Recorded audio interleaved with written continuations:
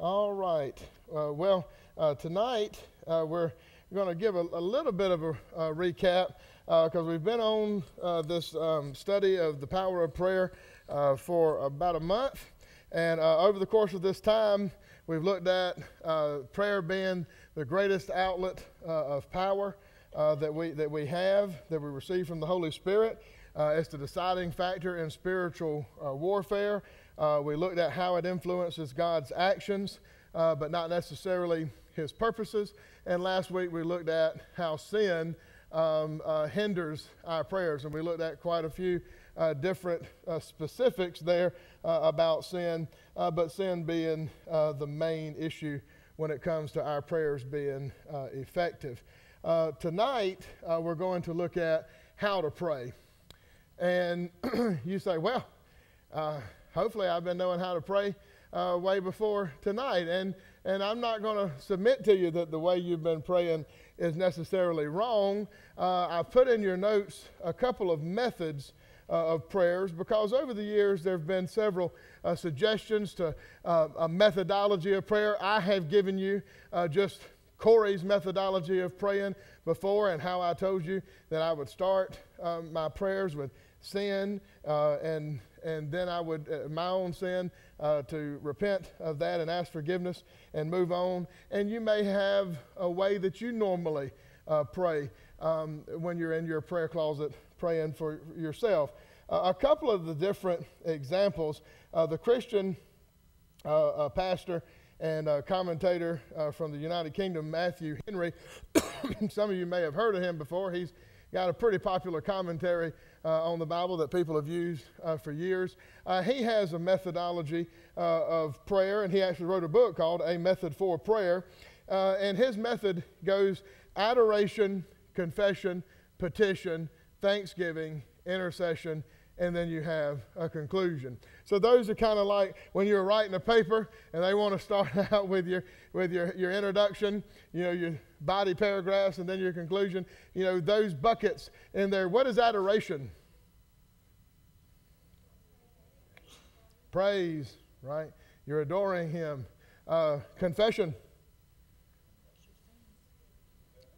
Asking forgiveness, confessing your sins. Petition what you're asking for. I'd like this to happen. I need that to happen. Thanksgiving, that's self explanatory, right? Giving him thanks. What about intercession?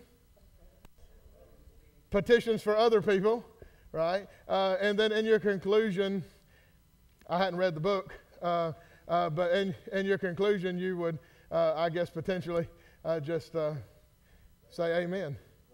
Huh? Right there. Yeah, I see what you're saying, Earl. Nevertheless, not what I will, but what you will. Pretty good. Um, there, there's another uh, method that is uh, put out there. It's called the ACTS uh, method. It's basically, basically a, a shorter version of what Matthew Henry says. It's adore, confess, thank, and then your supplications. Um, then there's also one that's called the pray method. Uh, this is just acronyms here praise, repent, ask, uh, and then yield. Uh, I like that last one here in the pray method to, to yield. What's that mean?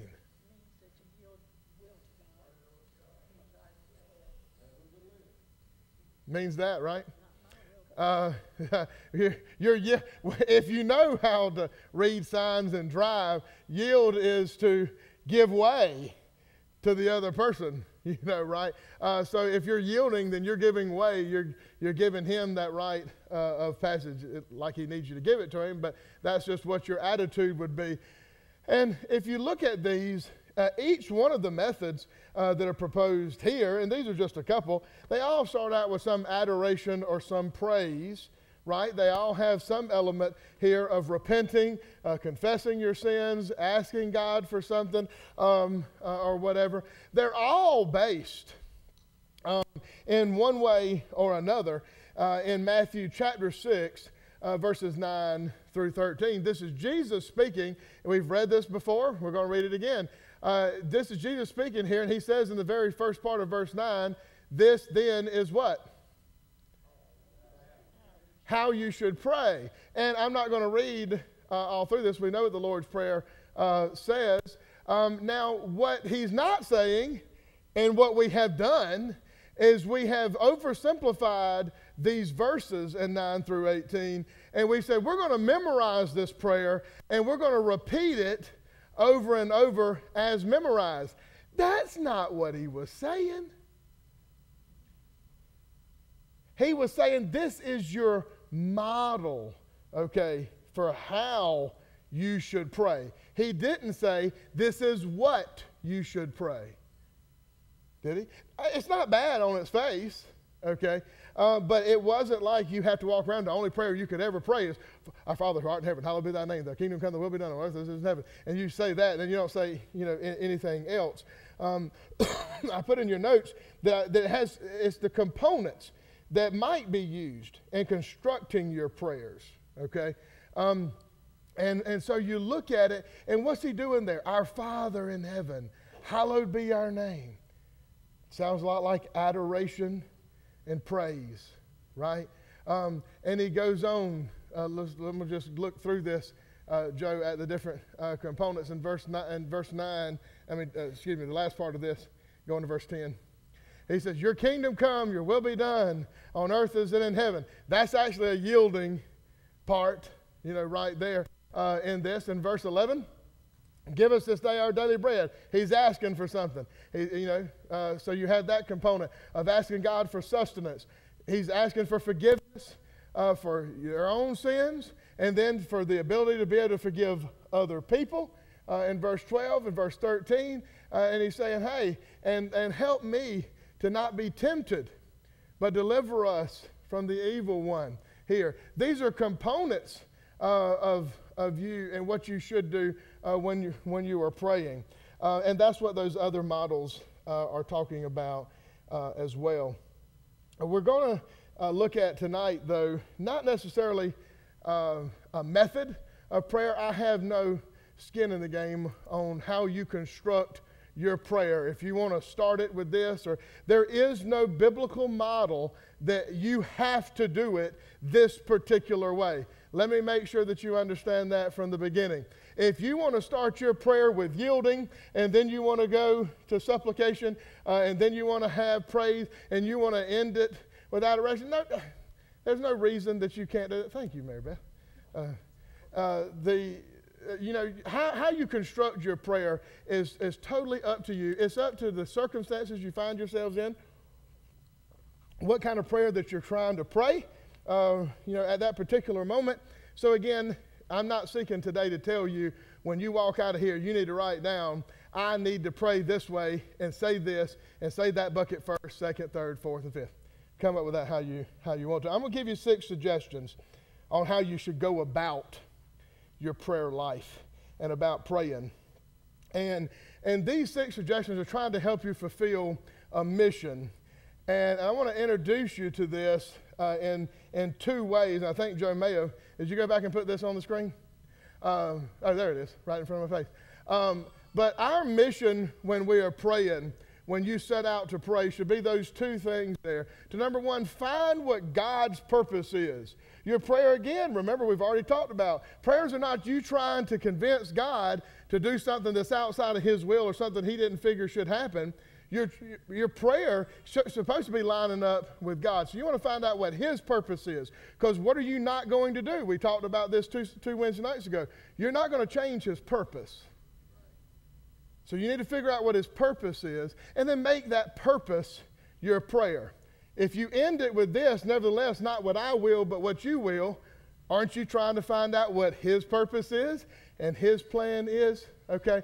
So when that, that's the mission, where that's our end result when we are praying to find out what God's will is and for that will uh, to be made manifest in our lives. So hopefully these six suggestions would help you get to that end result. Number one, and this may seem obvious, but set aside time for prayer. Now, if you notice in the bullet points that I have here, this is an unhurried daily time that is dedicated to praying. During this time, it ought to be in such a way that you're never worried about how long it's taking you. Oh my gosh, this is, this is five minutes, this is 10 minutes, This is an hour. This is an unhurried, dedicated time that you set aside uh, for God uh, to pray. Um, and, and I say the time we set aside for prayer should be a time when our minds are fresh and our spirits are sensitive to God's voice. So let me just tell you in my household, the moment that I wake up is not a great time for me to pray. Because, and I'm not saying that I can't set aside a time to get up earlier to do that because I could, but I'm saying, generally speaking, I'm up late and, and, I, and I sleep a tad earlier than 5 o'clock like my wife. She gets up, her alarm clock goes off at 4.30, and then she hits it for 30 minutes until she gets up at 5. but anyway, that's the situation. My ear has been trained to not listen to her alarm clock. Um, so what she'll do is say, time to get up. And, and this was when I was working at the bank because I never had to get up at 5 o'clock to do nothing. Okay. Uh, and, and, so time to get up. Well, if I'm up, then all the kids are up. And what we're doing is like when the, um, uh, on, uh, what's that movie? Uh, he left the, uh, it's a Christmas movie with Macaulay Culkin. Home Alone. Home Alone. Yeah. You know, when they're trying to get out of the house, go to the airport because they was late, that's how my house looks every morning okay, when we're trying to get people to school. Probably not a, it is a hurried time. It's not a good time to be listening to the voice of God. Um, so uh, there, there's other times that you may be able to find. You know, you can say, well, I start my day out with prayer. That's wonderful to do that. You can start your day out with prayer. You should begin your day in somewhere with prayer. Does it have to be before you ever put your foot on the ground? It does not have to be. It does not have to be, is what I'm trying to tell you. You can pray in whatever manner in which you'd like to pray, how many times you want to do it. All of those things are left up to you. But I'm saying when you pray, set aside some dedicated time where you can be quiet um, and, and, and, and when you, you can absolutely be sensitive to God's, to God's voice. Um, you really have to be careful not to just look at your schedule right now as your schedule sits here today and say, well, I can fit prayer in maybe here. That, that's, that's, that's probably not what you want to what you want to do. Uh, it's not going to work that way. Um, it's going to require a little sacrifice on your part uh, to, if, if you're going to pray correctly. Because just like with your money, if you give correctly, and how the Bible teaches anyway, um, then you ought to give what? To, to God. You, well, you should, but you should give first. You should give first to God. Not after you looked at your budget and said, Well, I think there's this much left and I'll give that. There is no faith in that. There is no sacrifice in that. You already just relegated it to a bill and you've given what you know you can pay. Okay? That's why the Bible says uh, in any of the tithes that the Israelites did or anything that people, you know, were doing, you are giving to God and you should give according to your increase and you should do it uh, first. That, you know, sure, you can do it the other way if you'd like, you know. Please do. Help us pay the light bill. But when you, that was a joke, good grief. We're not taking up an offering tonight. Um, huh? I wouldn't joke. But when it, when, it com- when it comes to your prayer time, any, if, if everything you're doing for God is you're going, listen, God, I got this little time for you because I've just slated you out these two minutes over here that I can spare. If you do that with your time and you do that with your, with your money and you do that with your talents and everything else, and He's going, Wonderful job. You are really doing a whole lot for me. Great. I'm going to bless your socks off. You, ever, you know when somebody else does you that way, when you know for a fact all they're giving you is what's left over? Doesn't make you feel real good, does it? And it doesn't make God feel real good either. But if you'll set aside some time where, uh, where you say, This is my dedicated time for prayer, that's going to be uh, your best uh, best thing to do. The second thing is a suitable place.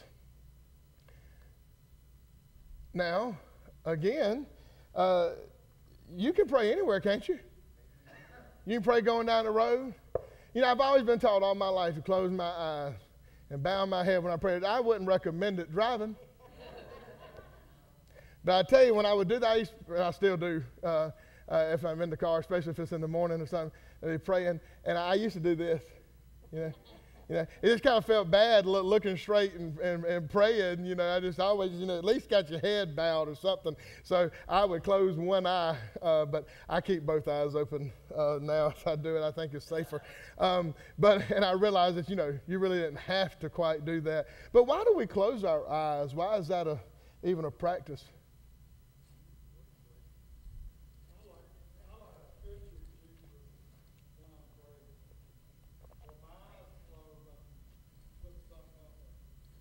Okay?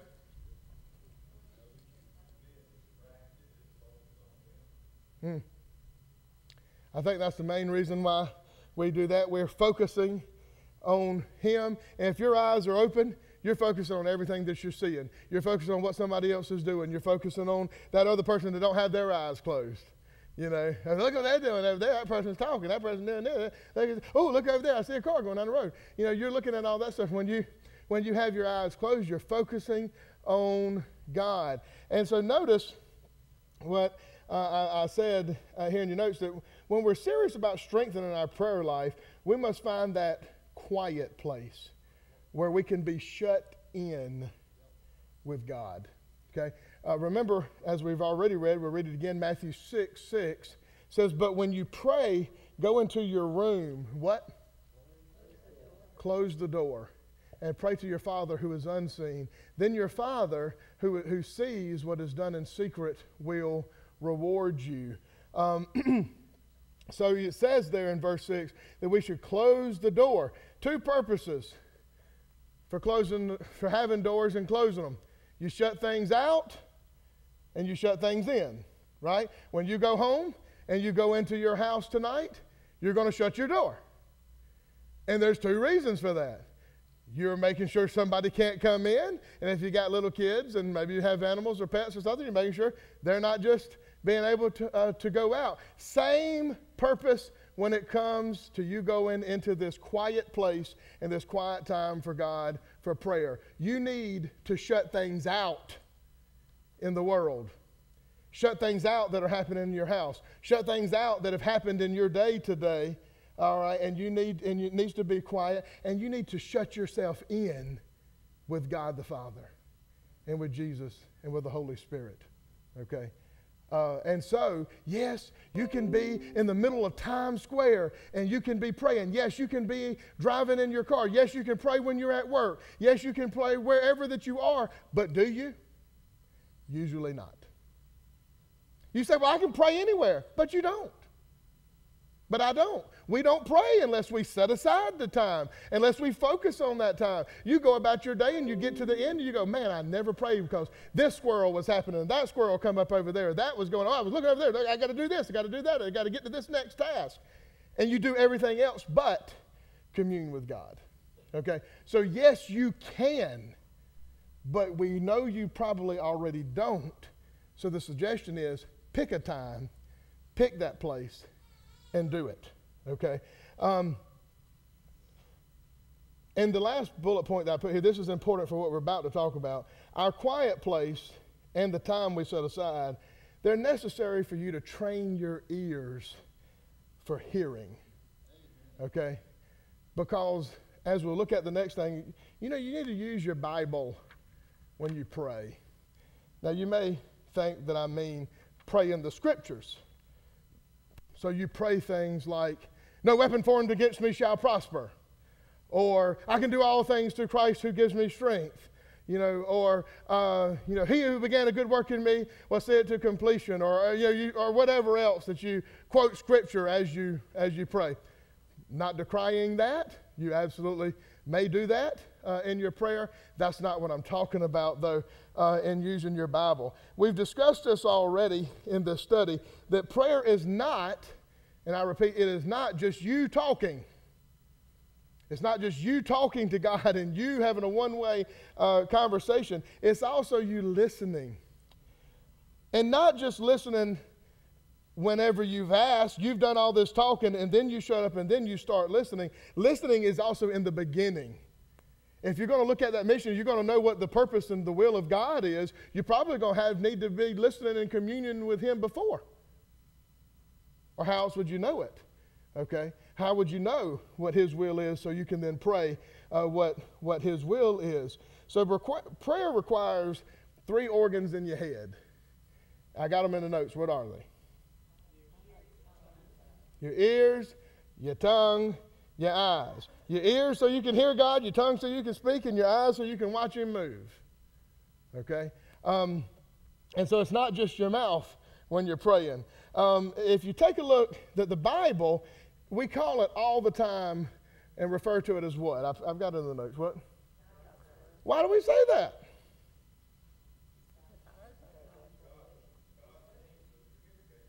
It literally is His Word.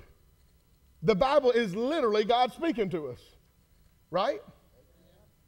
I mean, it, it, it, is his, it is a recorded transcript of God speaking to people so that we can have it and we can read it. We can listen to it uh, uh, in, an audio uh, format. You can hear somebody teach on it. You can go back and read it again. It is literally God's Word, not just us saying that, but is absolutely Him speaking to us. So if you want to hear God, and, and we're talking about right now in Sunday school, hearing the voice of God, if you want to be able to listen to God, you better be somebody that studies His Word and knows what His Word uh, is saying. Uh, the, the Bible is that wonderful tool for our eyes to read, but it's an even better tool, I say, for your inner ear. And I don't mean that part where you get those inner ear infections. You know, I'm talking about that inner part of your soul. I have, I tell people this all the time, told somebody uh, up here uh, the other Sunday, this stool is a little bit odd. It's four legs. I'm going to talk to you about the three legged stool. Number one, if you are going to be a participating Christian and you're going to have a, a walk uh, with the Lord, there are three things that you ought to do. You should pray, you should read and study your Bible, and you should attend a church. Now, that's not an exhaustive list, but I can tell you if you'll do those three things pray, read your Bible, and fellowship and congregate with other believers you will be very, very close to being well on your way uh, to doing things. But try it Try doing the other two with cutting out any one. You say, I can pray and read my Bible at my house. Can you? Sure. Will it affect your Christian walk? Sure. Will it affect it negatively? Probably. Why?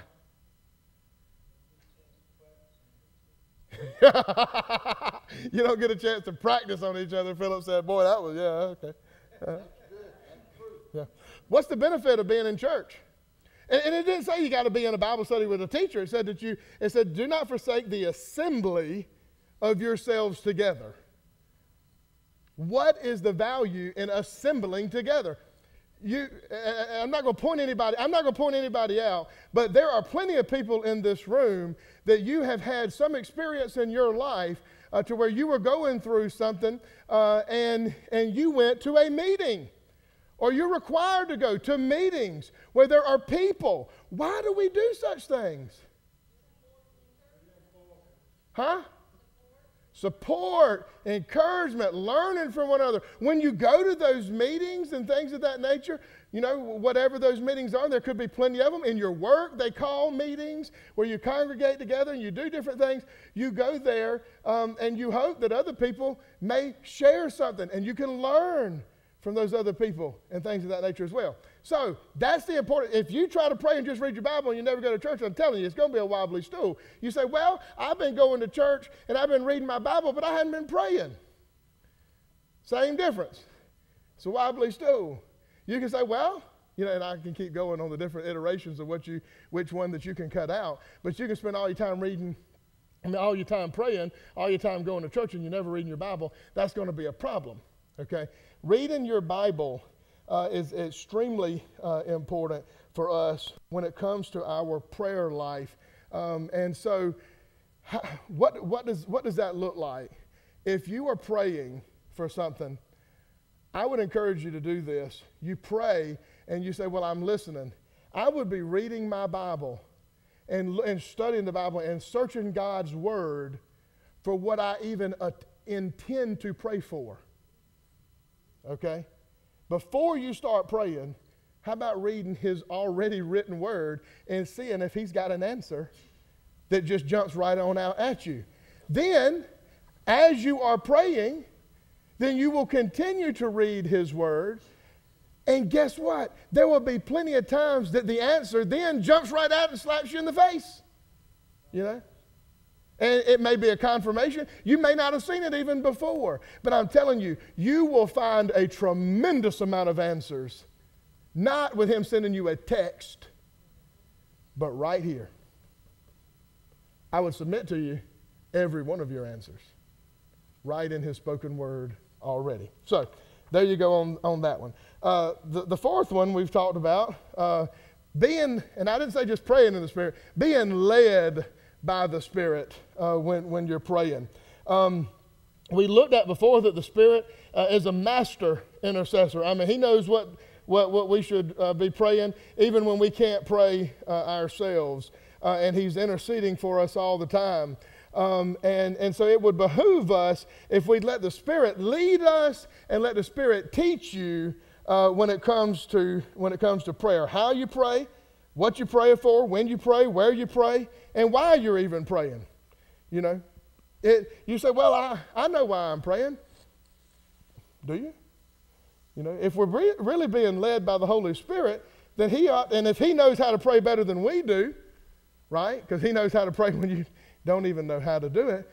Well, why don't we let him take the lead? Look at um, the quote that I've given you in your notes. And uh, Martin Luther is quoted as saying this. He's referring in the first part of this quote uh, to what Psalm 37 7 says, but it says, Rest in the Lord, wait patiently for him. And he says in Hebrew, Be silent in God and let him mold thee.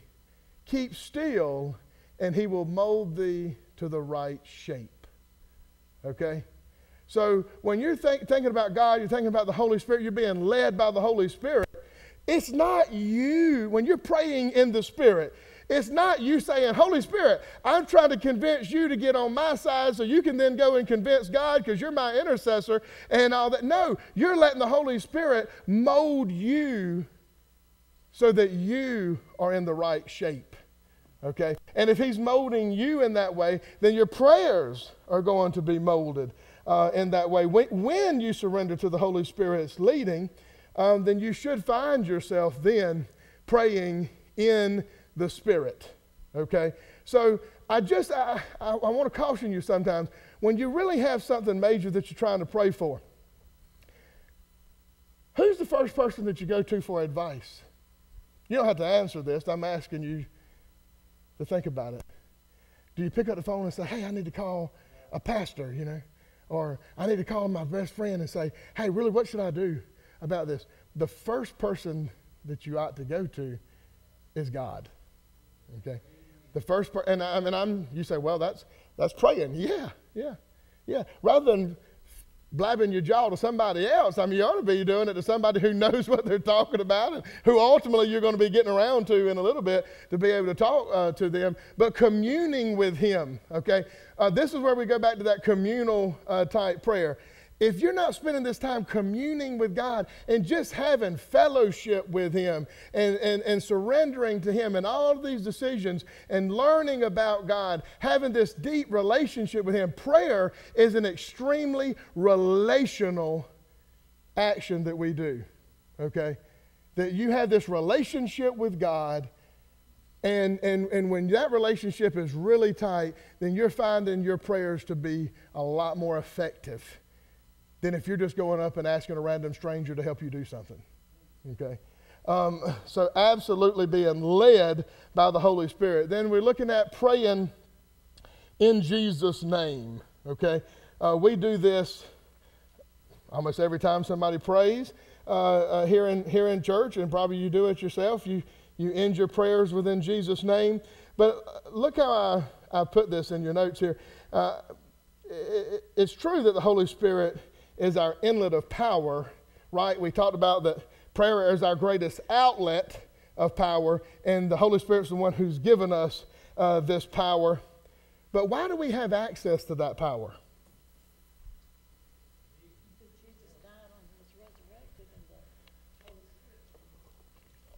You just don't get the power because you're here, right? Does, let me ask you a question.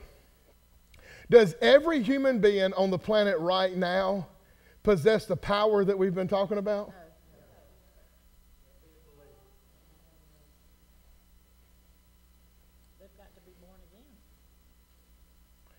They can't.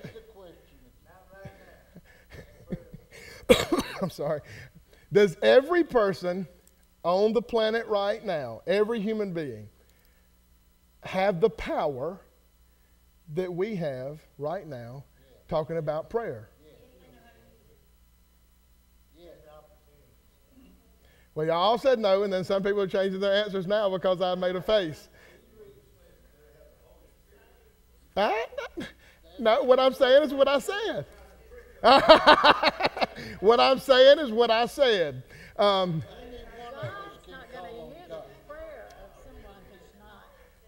hold on. the, what'd you say, Jenna? I'm sorry. Oh, well, now I think they have the potential power, but unless you have the Holy Spirit, then you don't have the power we've been talking about. You have the power only in one sense God, I need you, and I want to be saved. Okay? That, now this is the way Corey believes about it. Because anybody can talk to God, okay?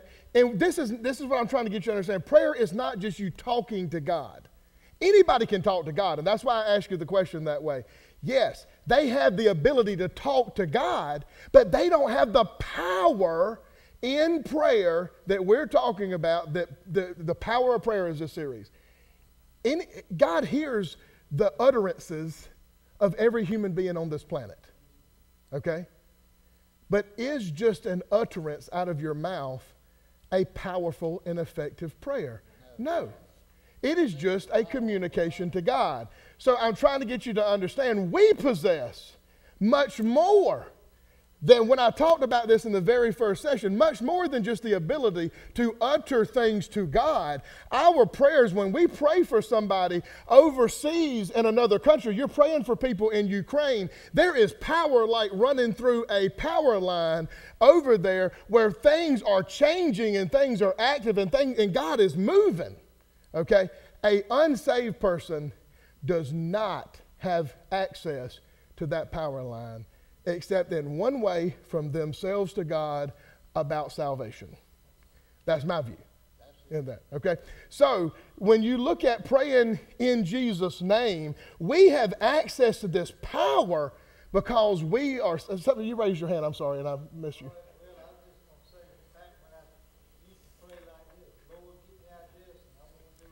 Yeah, yeah, yeah, yeah. No, he he heard you, Philip, praying a petition prayer for yourself, but he, he was going to answer that by saying, When you surrender yourself to me and you're born again, I'll take care of you. That's, the, that's how I figure he's answering the prayer. Now, I'm not God, okay? But now, when you're praying and you're unsaved and you're praying for your grandma who's on life support, does he hear what you're praying? Sure, sure. Is there any power behind what you're praying? Not necessarily, okay? Not necessarily. Um, and, and, and you just trying to talk to God. You know, He's hearing you, and He could choose to do what He wants to do, but you lack the power uh, that, that, that is out there uh, uh, for, for other people. Yes, sir.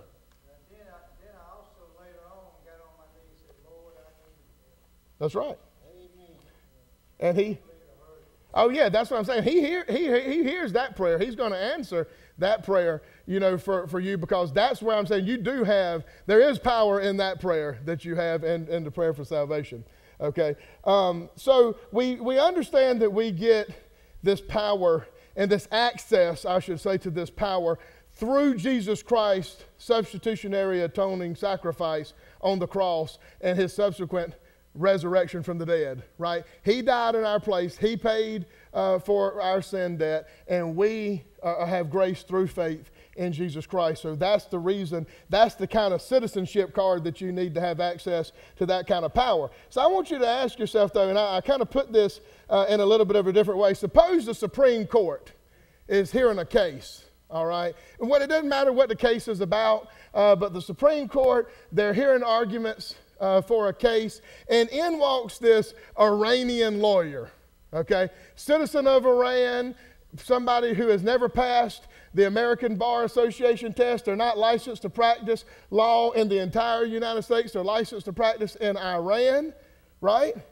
Um, and and they're, again, they're not able to practice law anywhere in the United States of America. Would that Iranian lawyer have the authority to address our Supreme Court as an attorney on a matter of law?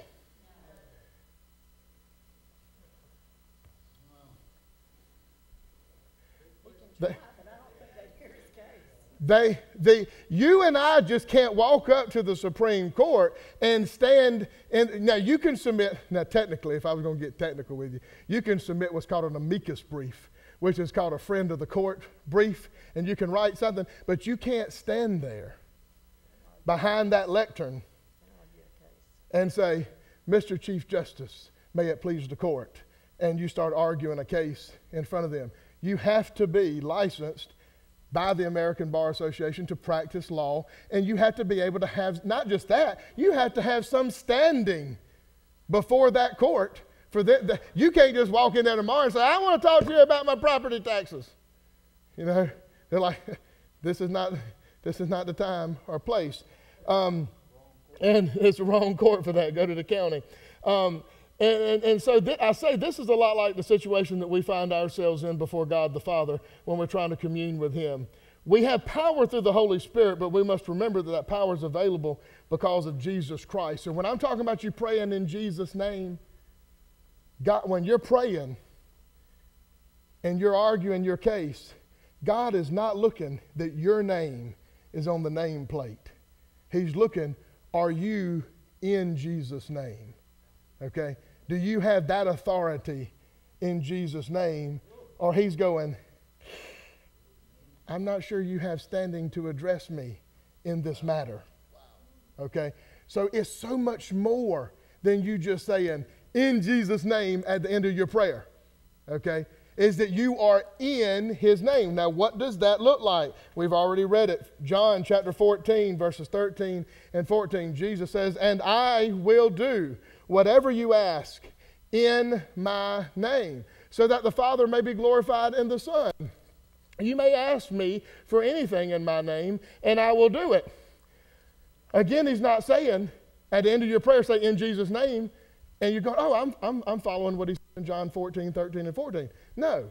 Are you in him? What's that look like? Let's look at what 1 John uh, tells us in 1 John 5, 13 and 15. It says, I write these things to you who believe in the name of the Son of God, which is Jesus, so that you may know that you have eternal life. This is the confidence we have in approaching God. That if we ask anything according to His will, He hears us.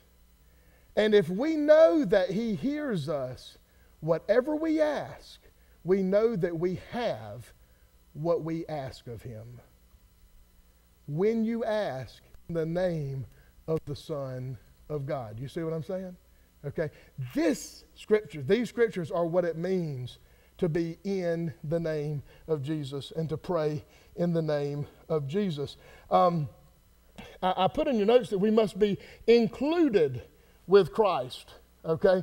to be included with Christ. It's not words that you say, it is your position with Jesus. Ephesians chapter 1 uh, and verse 13, it says, And you also were included in Christ when?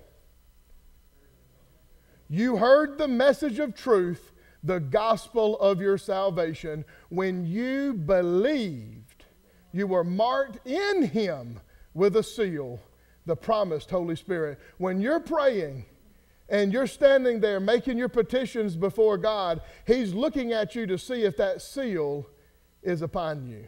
Okay? Not a seal on a degree from the Harvard Law School, but the seal of the Holy Spirit, which is that deposit guaranteeing your inheritance, which goes back to Jesus Christ. That's what it means. And so the, the, the, the basic point is you got to be born again if you're going to pray in Jesus' name.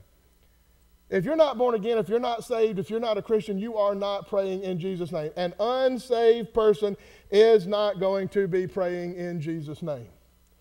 When it comes to all these other things I'm talking about, their salvation, when they want to believe, they want to offer their, their repentance to God, yes uh, obviously he's going to do that. But all, you, know, you hear somebody, this is why, folks, why I say some people, they just don't want just everybody up praying for them. If you've got 50 people up here praying for you and they are not praying in Jesus' name, being led by the Holy Spirit, they don't believe anything they're, they're praying, it may not hurt anything, but it sure ain't going to help, is it?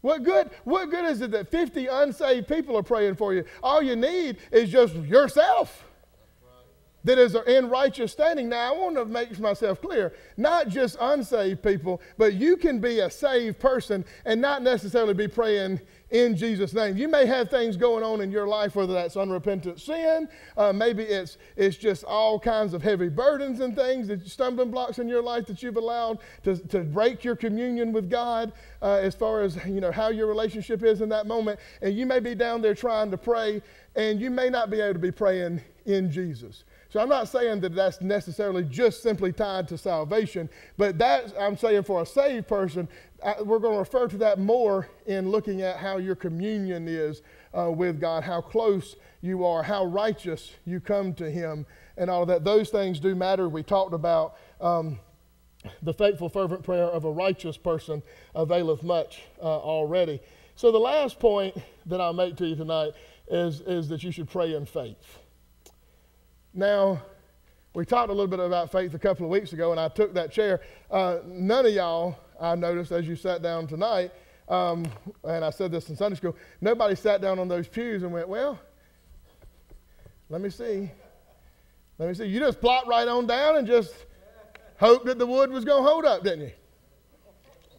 There's one up here that was broke, and I didn't test it either. And when I sat down, I thought, whoa, I should have tested this thing before uh, I sat down uh, on that. When, when I'm saying pray in faith, I'm not saying that you need to uh, understand that God can do something.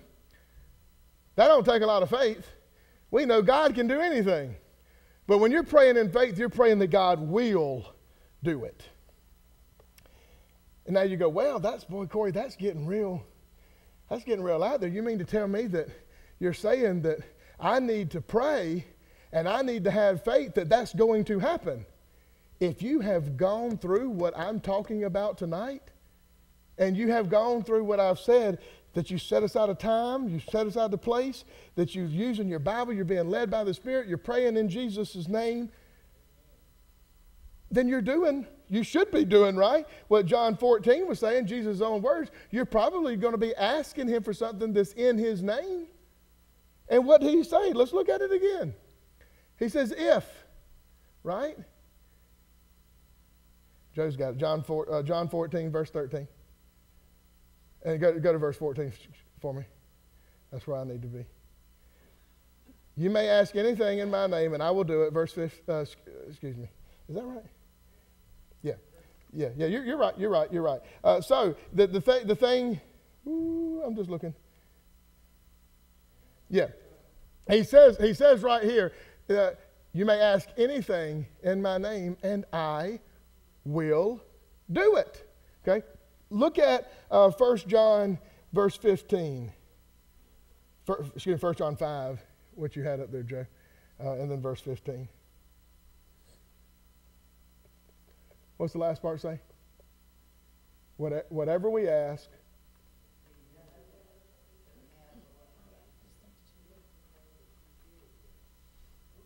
whatever we ask, we know.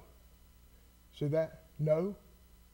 You know that what we have, well, excuse me, that we have what we ask for. That what you've asked for is going to happen. How do you have that? Look, look at uh, back at verse 14 uh, for me. Uh, maybe it was 13. So, no, it's verse 14. This is the confidence. This is the way that you can have this kind of faith if you know that you have prayed in the manner in which the Bible instructs us to pray, that not only can He do it, but He will do it. Um, and so I'd say that faithless prayers, it was hard for me to write this bullet point. And what I've wrote is faithless prayers are nothing more than mere words. But thankfully, the Spirit intercedes on our behalf at times, right? Because there are, I, I wanted to say that faithless prayers mean nothing. Well, I, I, couldn't quite go that far that faithless prayers mean nothing. They are just mere words. They probably lack any power. But as a Christian, you have that Holy Spirit that you didn't know how you were praying, or maybe you were just praying incorrectly. And we have the Holy Spirit that may be autocorrect. And as I said before, He may go behind us and say, Well, God, that's what He said, but He meant to say this. And he's so gracious in doing that kind of stuff. I mean, it's crazy. So many times you prayed specifically and you were limiting something, and he goes, Lord, don't listen to that. That, that. that was really dumb. Do this. How many times has, have you been thankful that God did not do exactly what you told him to do? Woo! Woo! I would miss out on a lot of blessings because I told him, you know, it's just like those, those workers that went and they were working that day uh, in, the, in the parable. The, the, the, the, the owner goes out and he's, he gets his, his first shift and he tells the people, right, that I'm going to, you're going to, you know, go work for a denarius.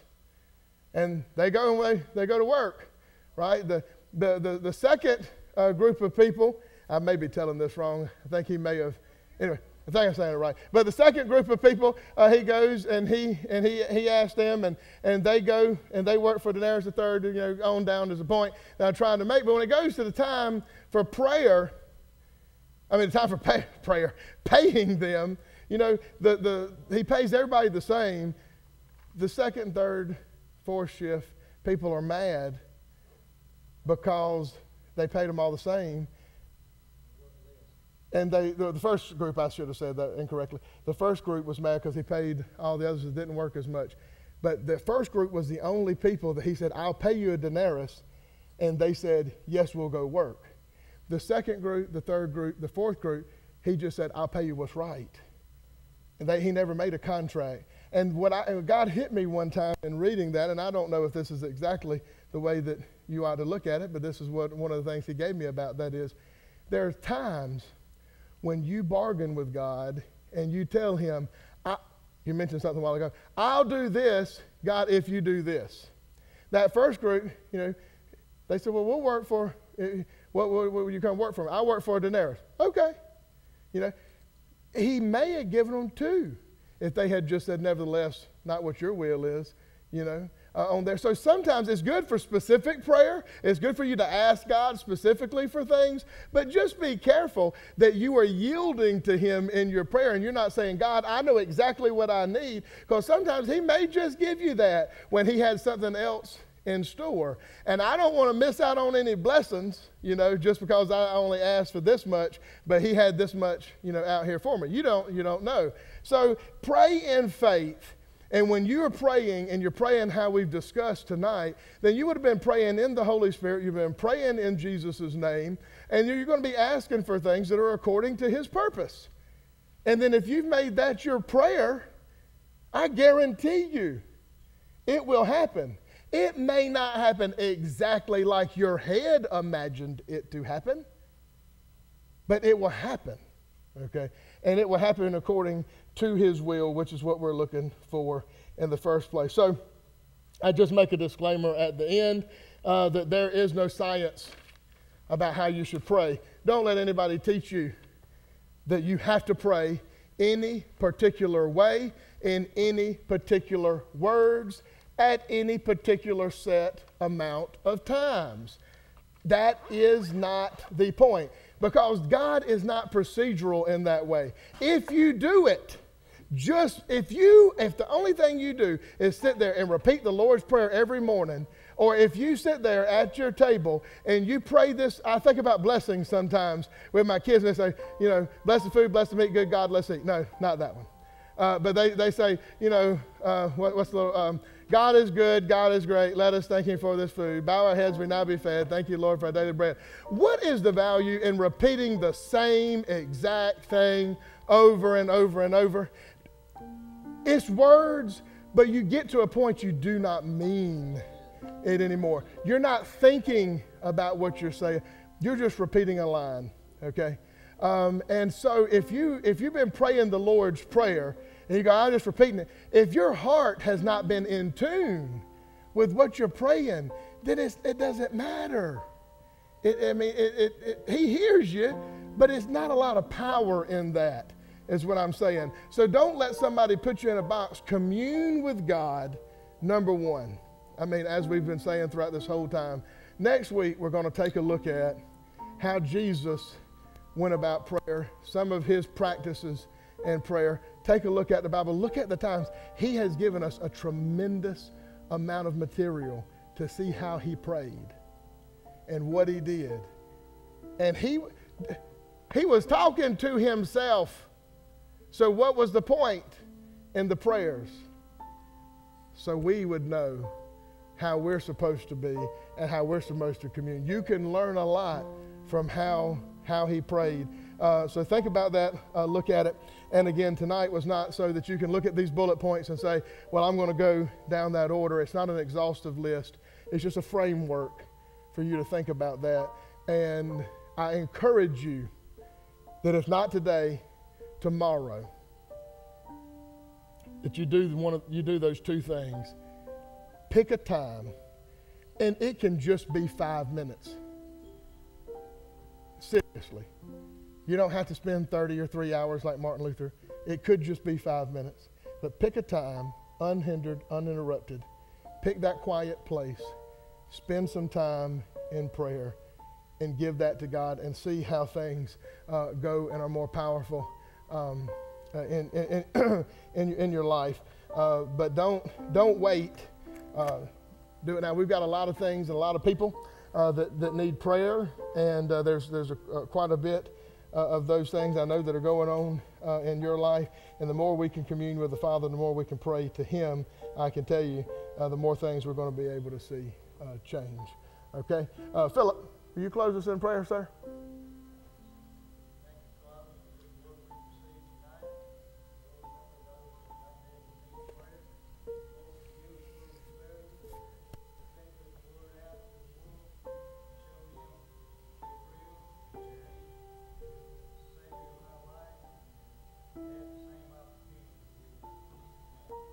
Amen. Amen.